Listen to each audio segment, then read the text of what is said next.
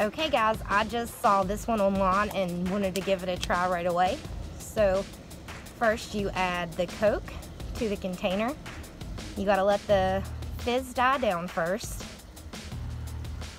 So let's let that die down.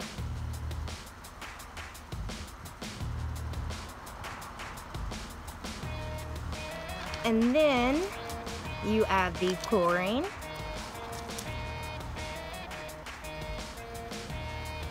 Give it a second and watch what's gonna happen.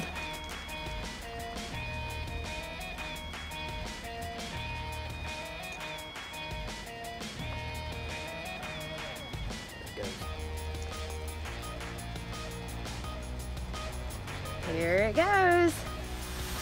All that is so cool. How cool is that? If you do this one with the kids, definitely keep them back. Wear protective gear. Don't get this on your skin. There you go. Thanks, guys.